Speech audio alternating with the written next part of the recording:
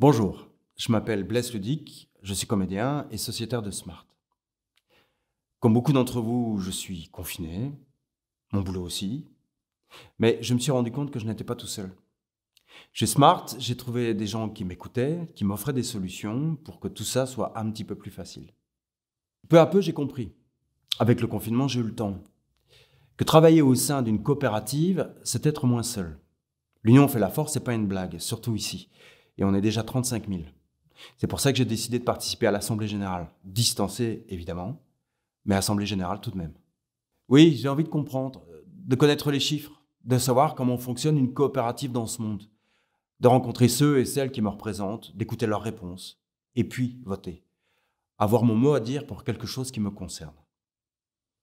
Le vote électronique est ouvert le 12 juin. Pour savoir pour qui, pourquoi voter, il y a des infos, il y a des vidéos, allez voir ça. Ça vaut le coup de savoir ce qu'on y fait et surtout ce qu'on y fera. L'Assemblée générale en France, c'est le 22 juin. On renouvellera les conseils d'administration. Et le 23, en Belgique. J'y serai, en tout cas ma tronche.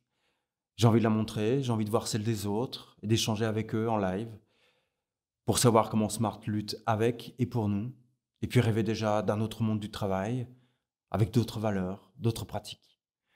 Voilà pourquoi je participerai à l'Assemblée générale de ma coopérative.